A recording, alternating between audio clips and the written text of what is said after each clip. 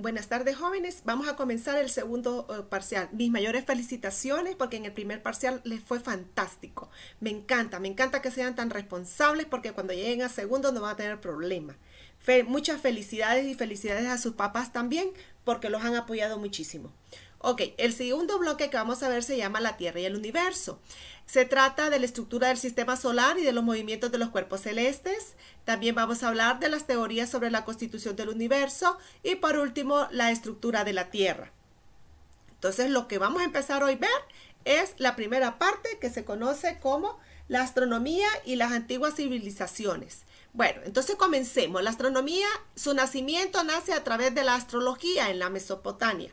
Los pueblos que fueron influenciados por las concepciones astronómicas ¿Quiénes fueron? Fueron los chinos, los mayas, los incas, los aztecas, los griegos, los romanos. ¿Por qué? Porque ellos le dedicaban bastante tiempo a lo que era la astrología, que es la que da el inicio a la astronomía. ¿Por qué? Porque ellos estudiaban mucho eso para su eh, establecer con precisión las épocas adecuadas para la siembra, la recolección de las cosechas, la orientación en los desplazamientos y los viajes, establecimientos de fechas importantes como las celebraciones para rendir culto a los dioses.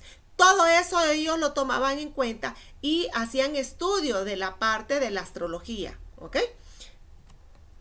Comencemos primero con la astronomía china. ¿Qué fue lo que nos dejaron? ¿Qué utilizamos todavía en estos momentos? Estimaron que la duración del año solar es entre 365 días y 6 horas. Los meses son lunares, es decir, que el primer día es el de la luna nueva y el día 15 el de la luna llena. Todavía hasta el, ahora se celebra todavía el año chino que comienza en enero. Algunos días cae enero, otros días cae la primera semana de febrero. Entonces ven, ellos lo tienen diferente como su año chino. Recuerden que son diferentes las celebraciones de ellas con las nuestras, ¿ya? Pero sí mantienen que el año dura 365 días, 6 horas. En la astronomía babilónica, los babilonios fueron los que nos dejaron el mayor legado de la astronomía occidental. Entre ellas tenemos, diseñaron un calendario lunar donde el mes comenzaba el día posterior a la luna nueva. El día duraba 24 horas, que todavía lo mantenemos. Recuerden que todavía el calendario lunar lo mantienen y lo utilizan mucho los campesinos, que es lo utilizan para hacer su siembra.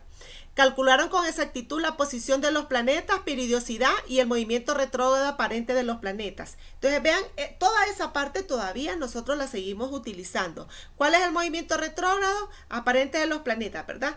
Que pareciera que ellos son los que están eh, dando vuelta, dando vuelta, dando vuelta, ¿ya? Y todo es que todos giran, los planetas giran alrededor de lo que es el Sol. Tenemos la astronomía griega. ¿Qué nos dejaron? Bueno, dentro de la astronomía griega eh, son las personas que se han considerado eh, mayor investigadores en aquellos tiempos. Tenemos Tales de Milato, que estuvo entre 624 al año 546 a.C., donde decía que la luna iluminada por el sol, predicción del eclipse. ¿Ya? Cuando la luna era iluminada por el sol, entonces cuando se daba el, eclipse. Pitágoras de Samos eh, nos dice la felicidad de la Tierra, que la Tierra es redonda, la Luna y otros astros. O sea, la parte esfera, que es redonda. Heracícledes de Pontus nos dice que la Tierra gira diariamente sobre su propio eje. ¿Ok? Aristorco de Samos nos, habla de la distancia relativa al Sol y la Luna, tamaño relativa de la Tierra, Sol y Luna, y que la Tierra se mueve alrededor del Sol. Entonces, si ustedes se fijan, todo esto que les estoy mencionando ahorita, todo esto se mantiene hasta el día de hoy, no ha cambiado. Entonces, imagínense desde que hace tantos años que fue la investigación y todavía esto se mantiene. Entonces, eran unas personas súper, súper investigadoras en cuanto a la astronomía. En la astronomía romana nos habla que la construcción de un calendario perfecto. Y ellos son los que dan el cimiento a la invención de un año bisiesto. ¿Qué es un año bisiesto? Es cuando trae 366 días. ¿Ok? Que es cuando febrero tiene 29 días. ¿Ya? Cuando no es año bisiesto, febrero siempre trae 28 días. Entonces, vean, eso nos dejó la astronomía romana. La astronomía maya, que es la nuestra, ¿verdad? Los bellos, en la astronomía romana, pues nos habla de los hicieron cálculos exactos de los periodos sinódicos de Mercurio, Venus, Marte y Júpiter. ¿A qué se refiere eh, esta parte? eh, nos habla de lo que son cuando los días son más largos o cuando las noches son más largas, que nos está hablando de lo que son los solsticios y los que son los equinoccios. ¿Ya? Los solsticios se refiere a los días más largos y las noches. Y, el equinoccio se refiere a la primavera y al otoño. A eso se refiere. Calcularon con exactitud los periodos de la luna, el sol y de estrellas como la Pleiades, a la que llamaban Sat-Bet, estrella cascabel, y marcaban los inicios de festividades rituales. Entonces, dependían mucho de esa estrella para marcar los inicios de todas sus festividades rituales, las que le hacían a los dioses, ya sea por porque caer agua, porque mejorara la, producción de la agricultura o por el simbolismo de la protección. Ellos eran muy creyentes en cuanto a cada uno de eh, sus festividades rituales. Según los mayas, la rotación completa de la Tierra alrededor del Sol es de 365.24 em, días y la NASA lo mide en 325 365.2422 días. Entonces vean ustedes que la investigación maya, la astronomía maya, casi era exacta porque la NASA lo hace a través de los instrumentos que mantienen a este, este día. Y los mayas en aquel momento no tenían ningún tipo de, ese, eh, de instrumentos. Imaginen, y vean ustedes qué tan cerca está en la forma como se medía la rotación completa de la Tierra alrededor del Sol. En la astronomía inca, ¿verdad? La inca, que es la peruana, el, el Gugatán en Machu Picchu, instrumento para la astronomía. Vean el tipo de instrumento con el que utilizaban, que son unas piedras y tienen como una parte em, triangular encima de la piedra. Construyeron un calendario lunar para las festividades religiosas y una solar para la agricultura, que consistía en 365 días divididos en 12 meses, 30 días cada uno y con 5 días intercalados. Que ese todavía es el que se mantiene. Por esa razón, ustedes pueden contar los meses y van a poder ver que hay cinco meses que tienen 31 días. ¿Ok? Sus ciudades fueron construidas gracias a sus conocimientos astronómicos. Pudieron eh, definir constelaciones, estrellas, el paso del tiempo, el cambio de estaciones. ¿Por qué? Porque en ese país es bien marcada las estaciones. Recuerden que nosotros aquí solo tenemos dos estaciones, o es invierno o es verano. Mientras que en la zona de Perú está más marcadas las estaciones y habla de lo que es otoño, de lo que es primavera, ¿ya? De lo que es invierno, de lo que es verano. La astronomía azteca habla de la predicción de los eclipses. Tenemos, saben que tenemos eclipses solares y eclipses lunares, dependiendo quién es el que se tapa, ¿verdad? en la forma como se tapa, cómo se da el reflejo de la luz a través, si quien lo tapa es el sol, el, perdón, si es la luna o es el, planeta eh, Tierra. Entonces, de acuerdo a eso, cometas y estrellas fugaces. Utilizando la astronomía y el calendario desarrollaron la meteorología. La meteorología, recuerden que es la ciencia que estudia cuánto es la cantidad de agua que va a caer en una zona. Ok, ahora caemos a lo que eh, estamos mencionando, las teorías que explican el origen del universo. Les voy a colocar un video para que vean ustedes qué fantástico es las cuatro teorías más importantes que hay sobre eh, las teorías más revelantes del origen del universo.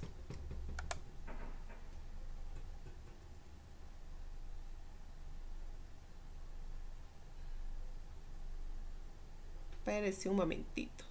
Ahí está.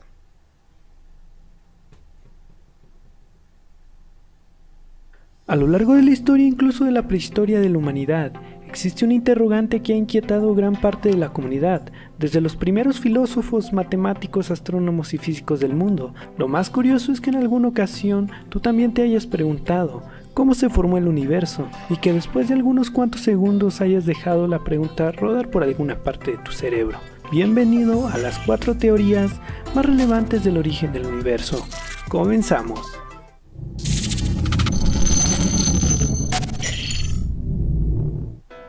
Teoría del Big Bang. Se trata de la más conocida y en ocasiones también llamada teoría de la gran explosión. Esta teoría señala que el origen del universo habría ocurrido hace algunos 13 y 15 millones de años, cuando toda la materia del universo estaba concentrada en una zona extremadamente pequeña, lo cual originó una explosión, generando la expansión de la materia y energía, dando lugar a las primeras estrellas y galaxias, formando así lo que conocemos hoy en día como el universo. Lo más curioso es que debido a esta explosión inicial el universo continúa en expansión, formando nuevas galaxias y quasars, haciéndose un universo infinito, o al menos por el momento. Teoría inflacionaria. Junto a la teoría del Big Bang, esta es otra de las más aceptadas y mejor fundamentadas, formulada por el gran cosmólogo y físico teórico estadounidense Alan Wood. Esta teoría propone que una fuerza única se dividió en las cuatro que conocemos hoy en día, las cuales son gravitatoria, electromagnética, nuclear fuerte y nuclear débil, provocando el origen del universo. Se propone que el empuje inicial fue prácticamente inapreciable, pero fue tan fuerte y tan violento que aun cuando la atracción de la gravedad frena las galaxias, el universo todavía crece incluso superando la velocidad de la luz, obviamente sin violar la teoría de la relatividad de Einstein, ya que lo que se expande es el espacio entre los objetos y no el objeto en sí. Teoría del estado estacionario. Esta teoría se opone a la tesis de un universo evolucionario. Esta teoría trata de explicar que el universo es una entidad que no tiene principio ni fin, en pocas palabras, el universo no comenzó con una explosión ni se colapsará en algún futuro, lo que nos lleva a la conclusión de que el universo siempre ha estado ahí. Teoría impulsada por el astrónomo inglés Edward Mill y que en 1948 algunos astrónomos retomaron este principio y añadieron nuevos conceptos, como el principio cosmológico perfecto, que establece en primer lugar que el universo no tiene un origen ni un final, ya que la materia interestelar siempre ha existido, y en segundo término, es que el aspecto general del universo no solo es idéntico en el espacio, sino que también en el tiempo. Teoría del universo oscilante. Esta teoría sugiere que el universo es uno más del producto de sucesivas explosiones y contracciones.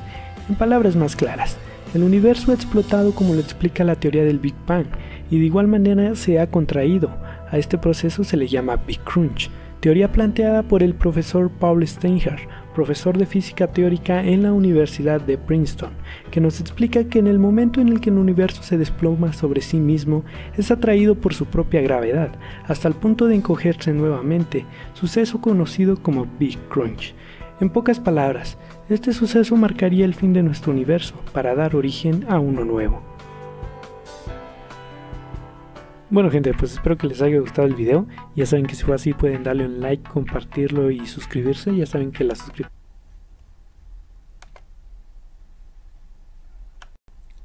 Bien, en resumen, ¿qué nos dice este video? ¿Qué nos habla de las teorías? Comencemos con la primera, la teoría del Big Bang. Entonces, ¿a qué se refiere? A que manifiesta que el universo se originó a partir de una gran explosión, dando como resultado toda la energía y la materia existente. ¿Ya? La teoría estacionaria o creación continua se refiere a que el universo es uniforme en todo el espacio y no existe variación en el tiempo. Es decir, que asume que aunque el universo se expande, la densidad siempre va a permanecer constante. ¿Por qué? Porque siempre se va a estar creando nueva materia. Cuando se refiere a la, teoría del universo pulsante, que también se le conoce como teoría de oscilaciones, este se refiere en que el universo pulsante y oscilante es cerrado, pero que se encuentra en constante movimiento en expansión a causa de sus contracciones y oscilaciones. Es decir, que la atracción del propio universo sobre sí de acuerdo a la gravedad. ¿Ok? A eso se refiere la teoría eh, del universo pulsante o oscilante. Y por último tenemos la teoría inflacionaria, que la teoría inflacionaria, este es lo contrario del Big Bang, ¿ya? Lo que se refiere es que mientras la teoría del Big Bang afirma que la expansión del universo pierde velocidad, en la teoría inflacionaria dice que lo acelera e induce al distanciamiento. Esa es la gran diferencia en las cuatro teorías. ¿Ok? Bien. Miremos entonces. De acuerdo, eh, me van a contestar cuatro preguntitas del video. ¿A qué se refiere la teoría del Big ¿Qué propone la teoría inflacionaria? ¿Qué explica la teoría del estado estacionario? ¿Y qué sugiere la teoría del universo pulsante? Lo pueden hacer escuchando el video o lo pueden hacer utilizando su libro de estudiantes en la página 67. Miremos cuáles van a ser las tareas de esta semana. ¿Ya? Ya saben que son dos semanas por las que les dejo las tareas. Una, me van a elaborar la portada del segundo parcial alusiva a los modelos planetarios. Me van a contestar las preguntas del video sobre las teorías del universo. Me van a contestar las páginas de la guía del cuaderno de trabajo, la 30, la 31 y la 32. Solo esas tres, ¿ok?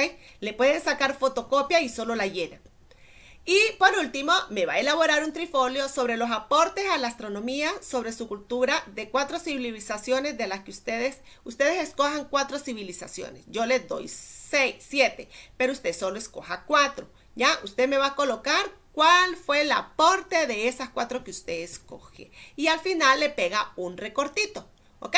Entonces, ¿cuánto le va a costar eso? 10 puntos. En total, ¿cuánto valen estas dos semanas? 25 puntos. Igualito como lo hicimos en el primer parcial. ¿Ok? Las primeras tareas son las más caras porque como me tienen que hacer la portada también, estamos con eso. Así que ánimo chicos y van a tener hasta el día 14 eh, de mayo para enviarlo. ¿Ok? Dos semanas completas para que usted me lo pueda enviar.